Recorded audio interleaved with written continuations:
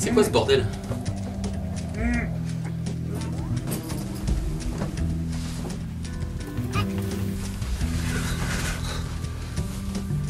C'est qui ce mec Bordel de Dieu. Ah, Interroge-le. C'est quoi ton nom Dot Qui t'a fait ça Toi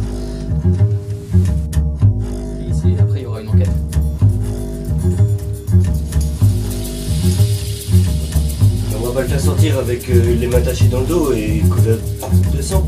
Comment t'as fait pour l'emmener ici? J'en sais pas. Mais Tu sais jamais rien, toi. Un flingue dans le dos. Est-ce que tu crois vraiment que j'ai un flingue? Ça doit être le sien. Dans mon état, on n'a pas de bordin.